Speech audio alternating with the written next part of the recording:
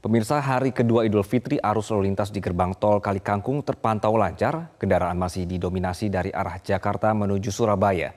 Hari pertama Idul Fitri volume kendaraan dari arah Jakarta terpantau masih tinggi mencapai 2.000 hingga 3.000 kendaraan per 2 jam. Sementara kendaraan yang menuju ke Jakarta hanya 600 hingga 2.000 kendaraan per 2 jam. Pagi ini, situasi di gerbang tol Kalikangkung juga terpantau masih sepi. Kendaraan pribadi dengan plat seputar Jawa Tengah mendominasi yang diperkirakan merupakan pemudik lokal bertujuan silaturahmi pada hari kedua Idul Fitri ini.